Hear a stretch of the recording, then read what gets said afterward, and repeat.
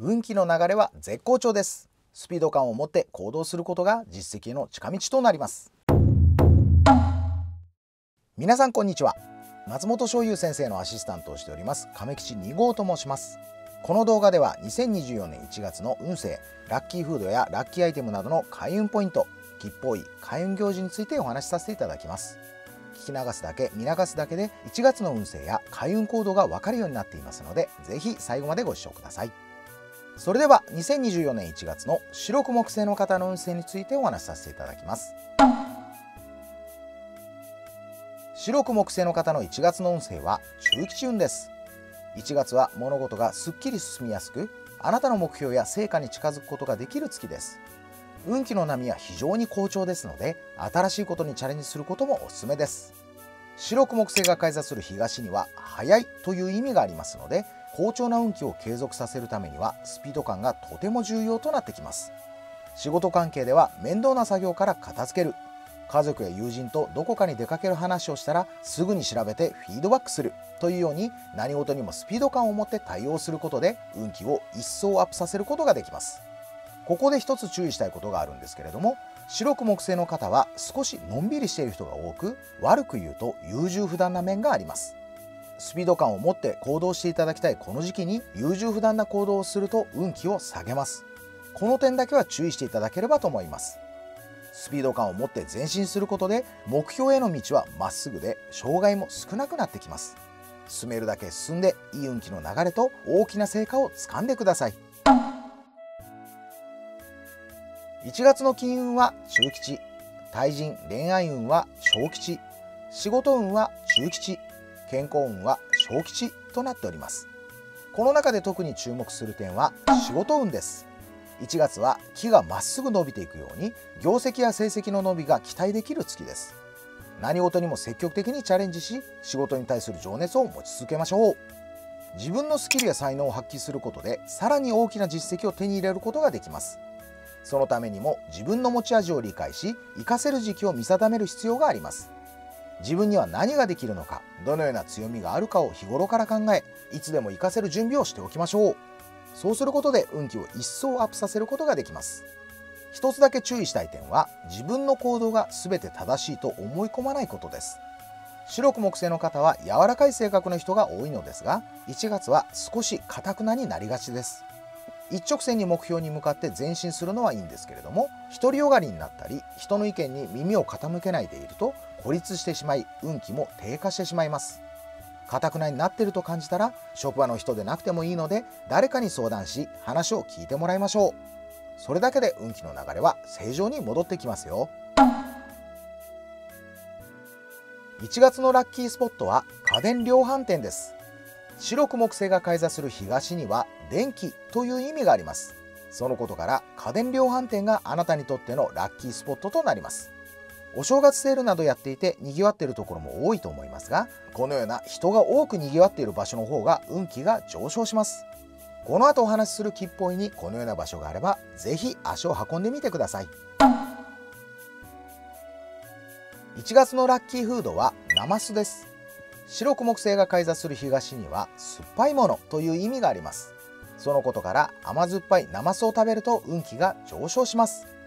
ナマスは紅白の色が水引きのようで縁起がいいということからおせち料理にも入っていますのでこの時期はどこででも手に入れることができますね。たくさん食べて運気を上げましょう。1月のラッキーカラーは紺色です。できるだけ濃い紺色がいいですね。新しく購入するものにラッキーカラーを取り入れてみましょう。食器やハンカチに紺色を取り入れることで健康運や対人運が上昇しますよ。1月のラッキーアイテムは竜のグッズです。白く木星が開座する東は竜という意味を持つことから竜の柄が入ったグッズや竜彫り水晶などを持つと運気が大きく上昇します。2024年の干支は辰ですので干支の置物もいいですね。古くから竜は富や権力幸運をもたらすと言われる縁起のいいものです。様々なグッズが販売されていますので飾れるものや身につけられるようなものを探してみるといいでしょう。1月の吉報位は南方位東北方位です。自宅から見てこちらの方位にはあなたにとってプラスとなるエネルギーが充満しております。吉報位に向かって何か行動を起こしたり出かけたりすると普段よりいいことが起こると言われています。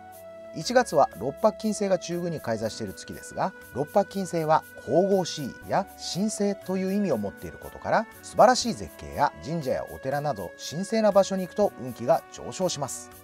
自宅から見て吉報位にこのような場所があれば出かけてみるといいでしょう。ちなみに今回の背景映像は皆さんの運気が上がるよう願いを込め神社やお寺から湧き出ている神聖な御神水や御霊水を撮影してきました。こちらもお楽しみください。1月に皆さんに知っていただきたい重要な行事があります。それは人日の節句です。人日の節句はひな祭りや七夕などと同じ五節句の一つで7日正月とも言われる日です。1月6日の夜から7日の朝にかけてのことを6日年越しや6日年取りと呼び正月を祝い松飾りを飾っておく期間である松の内最後の日として祝われてきました。ちなみに現代では松の内は地域によって日が違いますのでご注意ください。なぜ人日と呼ばれるかというと古代中国では元日は鳥2日は犬3日は羊4日はイノシシ5日は牛6日は馬を占い対象となる動物を大切にする風習がありました。7日は人を占い大切にするとされていたことから人日と呼ばれるようになったそうです。また1月7日の朝食に春の七草を入れた七草貝を食べることで健康になり邪気を払うと言われています。春の七草とはセリ、ナズナ、五行、箱べら、仏の座、スズナ、スズシロを言いますそれぞれ食欲増進や利尿作用、止血作用、高血圧予防などの効能があることから正月のごちそうで疲れた胃腸を休ませるにも理にかなっているんですね。1月7日には七草貝を食べて1年の無病息災を願い元気に過ごしましょう。以上が2024年1月の白く木星の方の運勢です。最後までご視聴いただきありがとうございます。神宮館では運気を上げるための開運法を知りたい。人生なかなかうまくいかない。などのお悩みを松本翔優先生による鑑定という形でお受けしております。松本先生とお話をすると元気が出た。笑顔が増えた。前向きな気持ちになれたという声をお聞きします。誰にも相談できず悩んでいる方や落ち込んでいる方は一度松本先生に相談してみてはいかがでしょうか。直接松本先生に会って相談する面談での鑑定や電話や Zoom での鑑定も行っております。ご興味のある方やお申し込みはこちらまでお電話ください。令和6年版神宮館暦シリーズが全国の書店神宮館オンラインショップで好評発売中です。ご興味のある方は概要欄からチェックしてみてください。この動画を見て面白かった参考になったよという方はいいねやチャンネル登録をよろしくお願いいたします。